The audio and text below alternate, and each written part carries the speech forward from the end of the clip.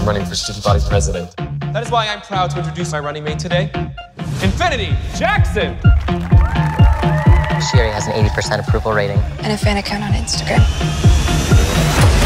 So evidently there's a videotape with some footage of you using an offensive gay slur. Do you have any idea what I might be referring to? Do you have any idea what time it is? Shut up, ma'am. I'm not gonna take your bullshit tonight, okay? What did you say on the tape? She said butt munch. She called an obviously gay reporter butt munch. Damn it! This is all over now! I want that trophy.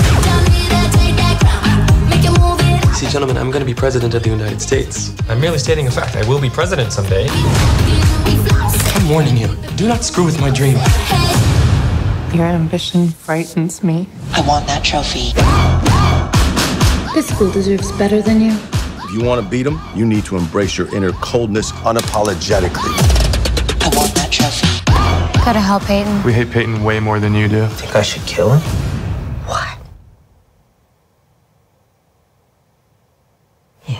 I do. I don't know yet if I'm a good person. You don't have to be a good person, as long as you do good things. Tell me all the stuff that would make a difference to you. What do you care about? I Can't believe it. That I'm a stone cold bitch with ice water in my veins? I want that trophy. This young lady would like to vote. She can't without a student ID. Otherwise, they'd bus in a bunch of kids from other schools to vote illegally. That's insane.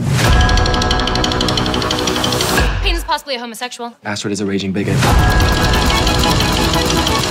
I don't understand why calling that gay man a butt munch was such a scandal. That's what gays do munch butts and celebrate Halloween. I want that trophy.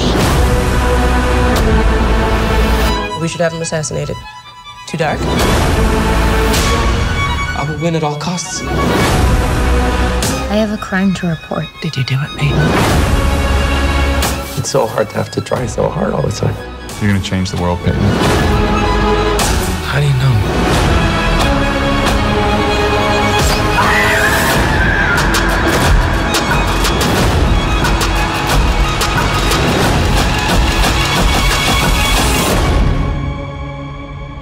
trophy.